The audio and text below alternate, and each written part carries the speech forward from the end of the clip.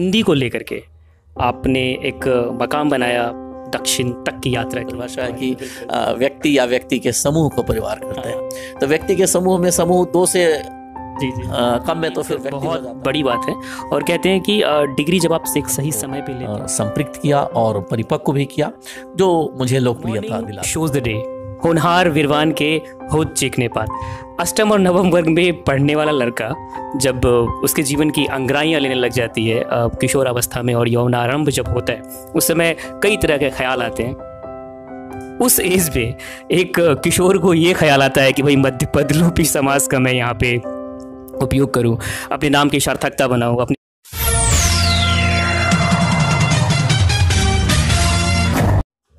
नमस्कार। एक नए श्रृंखला की शुरुआत कर रहा हूँ। इस उम्मीद के साथ कि आप सबों को पसंद आएगी। पेश है मोहिउद्दीन नगर नामा। मोहिउद्दीन नगर नामा के अंतर्गत हमने सोचा कि मोहिउद्दीन नगर क्षेत्र से जो भी कला के क्षेत्र में, चाहे फिर साहित्य के क्षेत्र में या फिर शिक्षा के क्षेत्र में, जिन्होंने अपना एक अलग मकाम बनाया है, इस मंच से हम उन्हें लाएँ और उनकी, उनका साक्षात्कार, उनका जीवन दर्शन आपके समक्ष प्रस्तुत करें। तो आज चलिए हम आपको पहली कड़ी की ओर ले चलते हैं और मुहिद्दीन नगर नामा के आज के हमारे पहले खाशम खास मेहमान हैं। अपनी भाषा को लेकर के जिन्होंने अपने लोकल क्षेत्र और ज़िला स्तर या फिर राज्य स्तर की बात करें खास के हिंदी को लेकर के, इन्होंने ज़िला ही नहीं, वरन राज्य ही नहीं, बल्कि अंतर्राष्ट्रीय स्तर तक इन्होंने अपना नाम कमाया और हिंदी को अंतर्राष्ट्रीय स्तर तक पहुँचाया। दक्षिण में हिंदी को लेकर के गए और पूरी तरीके से इन्होंने उनका प्रचार प्रसार किया और मुहिद्दीन नगर के तो चर्चित नाम हैं ही। आज अंतर्राष्ट्रीय स्तर पर इनकी ख्याति प्राप्त है। वो कोई और नहीं, हमारे साथ हैं श्री ईश्वर करुण जी। आपका बहुत बहुत स्वागत है। और ये हमारा एक कोशिश है मुहिद्दीन नगर नामा। इसमें हम मुहिद्दीन नगर से जुड़े हुए जो भी लोग हैं चाहे वो कला के क्षेत्र में हो, चाहे वो साहित्य, विज्ञान या शिक्षा के क्षेत्र में हो, उन लोगों को हम इस मंच पर लाते हैं और उनका एक जीवन दर्शन या फिर साक्षात्कार कह लीजिए हम अपने दर्शकों के सामने प्रस्तुत करते हैं। क्योंकि जीवन का कोई भरोसा नहीं, आज है, कल नहीं। हमारे नज़रिए से इसे देखा जाए तो ये कोई मार्केटिंग की चीज़ या ऐसा कुछ नहीं है। बहुत ही भावनापूर्ण मैं इन चीज़ों से जुड़ा हुआ हूँ। और ये जो मोहिउद्दीन नगर नामा है ये ये प्रोजेक्ट मेरे मन में बहुत दिनों से था और ये मेरी पहली कोशिश है और आपका मेरे ऊपर एक जो पिता और पुत्र का जैसा लगाव रहता है बिल्कुल रहा है मेरे ऊपर और यही कारण रहा कि मैं आपसे इतना जुड़ पाया और महीउद्दीन नगर नामा जब शुरू हुआ तो सबसे पहले इस कड़ी में सबसे पहले मेहमान आप बने। तो सर, ये आपको सबसे पहले तो आप ये बताइए कि आपको ये हमारी कोशिश कैसी लगी और कहाँ तक मैं इसमें कामयाब हो पाऊँगा? देखिए, सौरभ, मैं इस बात के लिए आपको बहुत बधाई देता हूँ कि आपने एक ऐसा सीरियल लाया है जो मोहित नगर नामा नाम से। और आपकी ये कोशिश निश्चित रूप से हमारे इस क्षेत्र के लिए बहुत बड़ी उपलब्धि होगी, क्योंकि बहुत सारी प्रतिभाएँ हमारे क्षेत्र में हैं, उन प्रतिभाओं को सही ढंग से सामने लाने की कोशिश अभी तक नहीं हुई। और अगर सौरभ जैसे लोग मीडिया के चर्चित व्यक्ति और मैं कहूँ लघु फ़िल्मों के भी बहुत अच्छे डायरेक्टर, अगर उन्होंने यह बीरा उठाया है तो निश्चित रूप से सराहनीय है और मैं इसके लिए आपको बहुत बहुत बधाई देता हूँ। साथ साथ इस बात के लिए भी मैं ईश्वर को धन्यवाद देता हूँ कि इस कड़ी की पहली कड़ी के रूप में आपने मुझे चुना और इस तरह से ये कहा जाए कि यह सीरियल शुभ हो मैं उस के लिए भी शुभकामना करता हूँ। और मेरा बड़ा ये सौभाग्य है, मैं आज उस क्षण को भी याद करता हूँ, जब हमारे मित्र हैं विजय राघवन जी, जब वो टीवी पे गए, इंडिया टीवी पे, और पहली रिपोर्टिंग जब उन्होंने चेन्नई से करनी शुरू की तो पता नहीं क्यों उनको भी मेरी ही याद आई और उन्होंने कहा कि ईश्वर जी, आपका मैं एक मिनट का ही सही एक बाइट लेके करूँगा। और आज सौरभ ने भी कहा तो मेरे लिए सौभाग्य की बात है कि मेरी कर्मभूमि से लेकर मेरे जन्मभूमि तक अगर मैं अपने नई पीढ़ी के प्राथमिकता में हूँ तो ये मेरे लिए सौभाग्य है। तो मैं इसके लिए भी बहुत बहुत आपका आभार।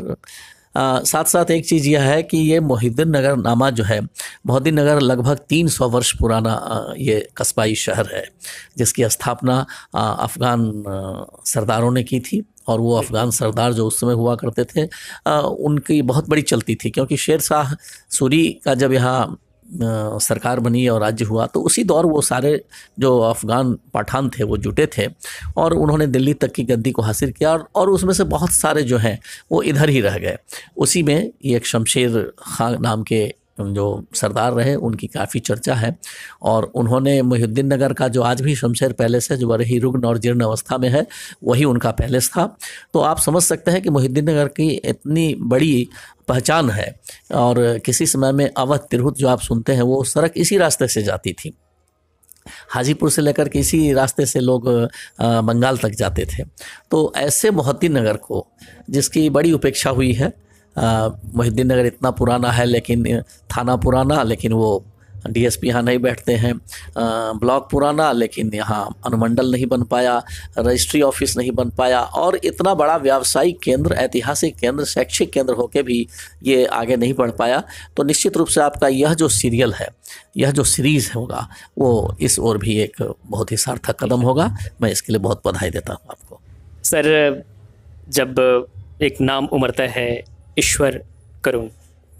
तो मैं सच बोलूँ तो सबसे पहले मैंने आपको सोशल मीडिया पे देखा था और सोशल मीडिया आने के बाद जब आपके बारे में जाना तो आपसे सहसा मिलने की उत्कंठा हुई और आपसे मेल जुल बढ़ने लगा, फिर मैं आपके बारे में और जानने लगा।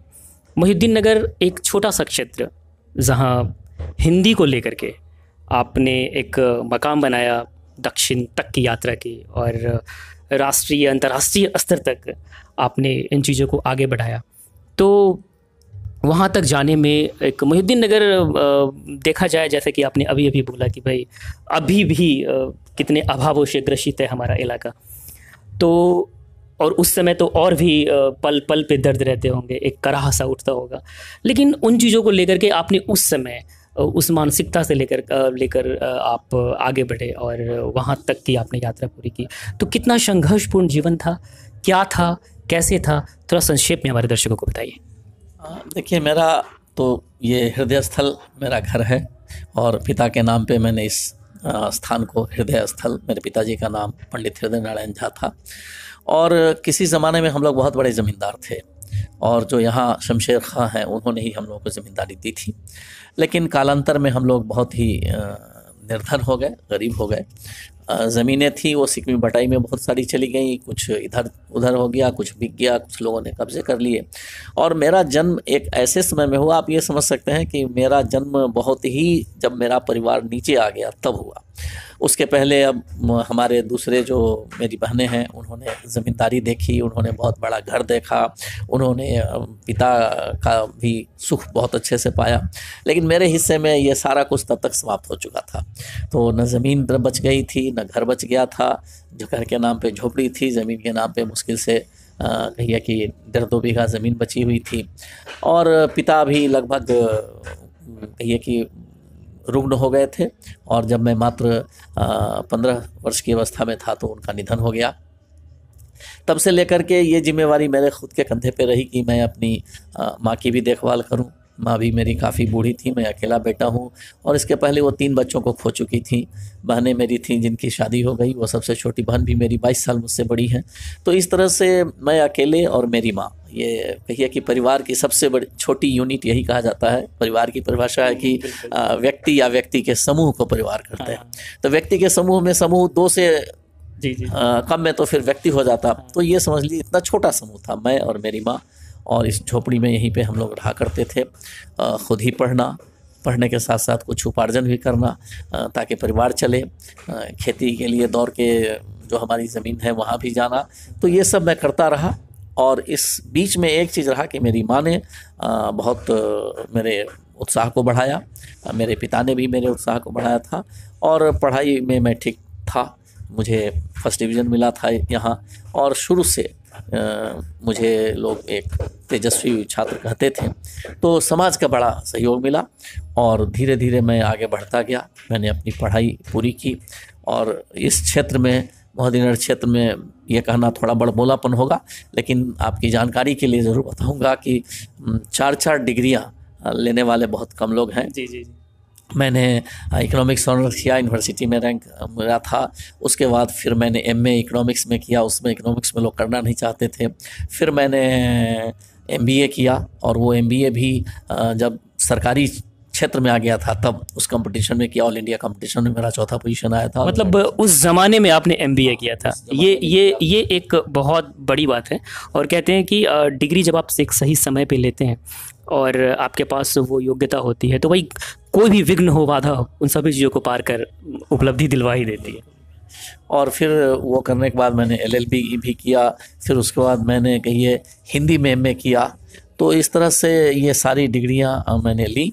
और साथ साथ काम करता रहा पत्रकारिता में काम करता रहा और सर्कुलेशन मैनेजर रहा जनता प्रहरी पत्र अखबार का तिरहुतवाणी में लिखता रहा। इस तरह से काफ़ी संघर्षपूर्ण जीवन रहा और कई बार तो ऐसे होते थे कि सुबह में जो खाया है रात में क्या खाएँगे नहीं खाएँगे वो स्थिति थी।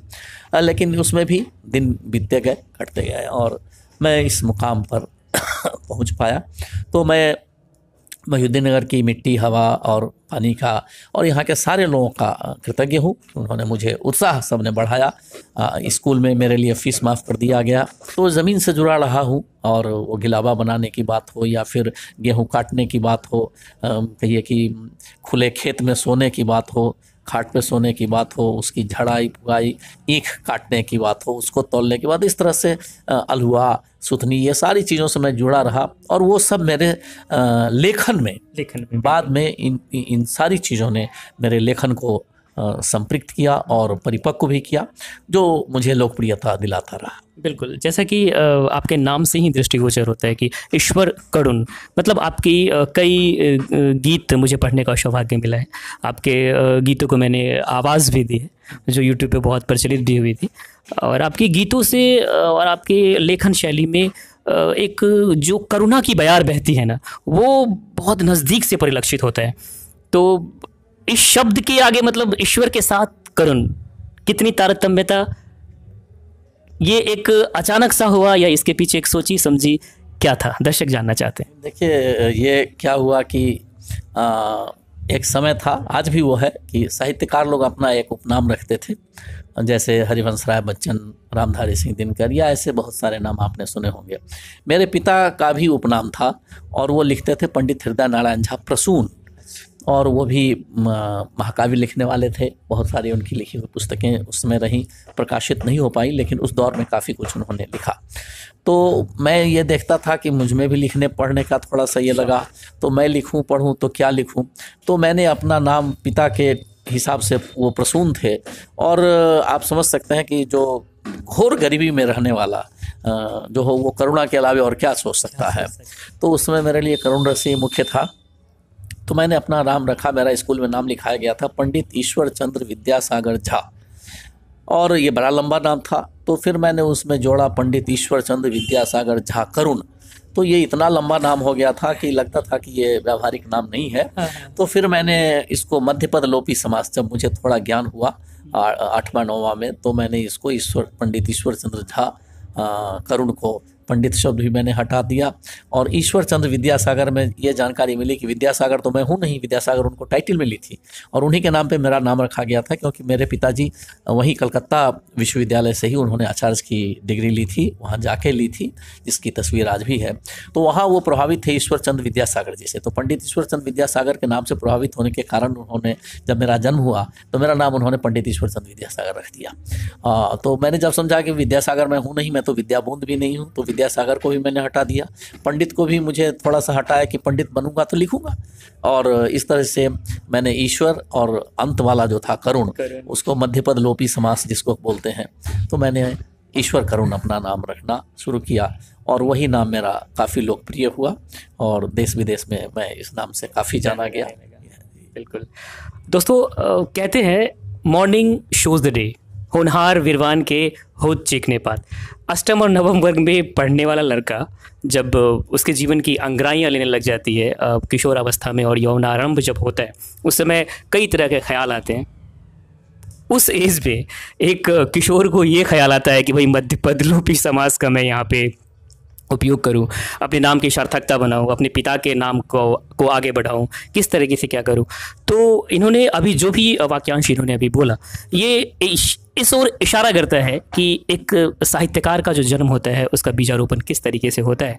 इन्होंने जो अभी पिछले इन्होंने अपनी वाक्यांश बोला, उसमें बहुत कुछ दिखता है कि एक साहित्यकार का जन्म कैसे होता है और नो डाउट कि आपको क्या करना है, कैसे करना है, ये बहुत पहले ही पता चल जाता है। और आज की तारीख में मैं बताऊँ कि मयुद्दीन नगर के लिए ये एक गौरव की बात है कि ईश्वर करुण जैसे शख्स हमारी धरती से हैं। अभी हमारे पास कुछ किताबें हैं। मैं इस किताब की मैं आपको जो ऊपरी आवरण है, मैं ये अब दिखाना चाहूँगा। ये देखिए, साहित्य सृजन की समकालीनता। अभिनंदन ग्रंथ कभी आपको पढ़ने का मौका मिले तो आप ये बुक्स ज़रूर पढ़िएगा। और इसके अलावा हमारे पास एक और बुक्स रखी हुई हैं। एक और दृष्टि, जो सर की दर्जनों पुस्तकें हैं, और इस वीडियो में मैं ये पुस्तकें इसलिए आपको दिखा रहा हूँ कि देखिए, सिर्फ़ पैसे कमाना जीवन की उपलब्धि नहीं होती, जीवन की वास्तविक उपलब्धि ये है। लोग आपको चले जाने के बाद आपको किस रूप में याद रखते हैं, ये एक बहुत बड़ी उपलब्धि है। और, मयुद्दीन नगर की जो धरती है, वो धनवानों से भरी पड़ी है, सर। धनवानों से भरी पड़ी है। कोई डाउट नहीं। यहाँ करोड़पति और अरबपति लोग रहते हैं। लेकिन उन्होंने अपने धन का सदुपयोग किन रूपों में किया है? ये मायने रखता है। अगर आप थोड़े गरीब भी हैं, लेकिन आप अपने जीवन को एक ऐसा बना के जाते हैं कि आपके जाने के बाद भी लोग उसे याद रखें। तो मेरी नज़रों में, सर, सबसे बड़ा धनवान वही व्यक्ति है। आप उसे किस नज़रों में देखते हैं, सर?